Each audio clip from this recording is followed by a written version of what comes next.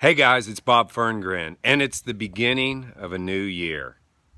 And you know, I was thinking about New Year's resolutions over the last week, and I think about so many people have like a list of things that they want to accomplish. You know, they've got things on their health goals. You know, they want to work out more and eat better and drink more water. And they have things on their financial goals like getting out of debt or getting out of a dead end job or getting promoted or investing more. They've got things on their time goals like spending more time with their family, working on their marriage. I mean, they just kind of make this whole list of things. And here's what I think I think just like everything, uh, when we put a whole lot of things on a list, it starts to become overwhelming. So, I want to talk to you about one thing today that I think can make a difference. What if you had one thing on your on your New Year's resolutions?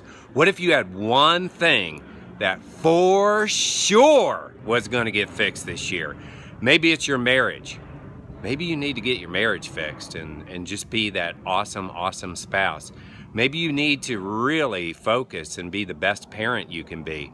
Maybe it's time for you to get out of debt, or maybe it's time for you to get that 40 pounds off your badunkadunk. I don't know what it is. But why don't you just pick one thing? Here's what happens when you have success with one thing it has a multiplying effect. Maybe if you focused on debt, think about it. Think about if you said, That's it, we're not going to spend more than we earn anymore. That thing's over with. We're not going to live that lifestyle, the same lifestyle that so many other people live. We're actually going to be people who live under our means and we're going to get control of our debt. Doesn't that sound cool? Guess what would happen? Oh, your marriage would probably get better.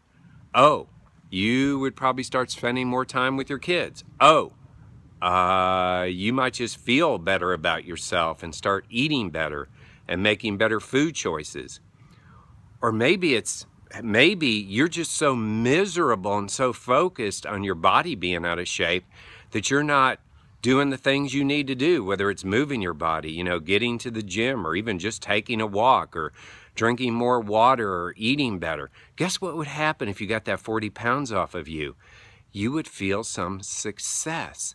And that success can then transfer over to other parts of your life.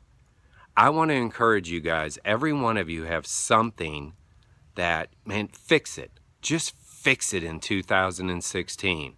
Fix it. Focus on one thing. Focus on being great at one thing because you've got to have that success at one thing and it will have a multiplying effect. You'll start feeling better about yourself. And the key to all success is if you feel great about something, you're going to do more things that cause you to feel great.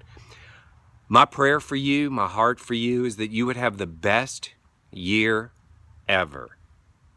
Hey, let's go.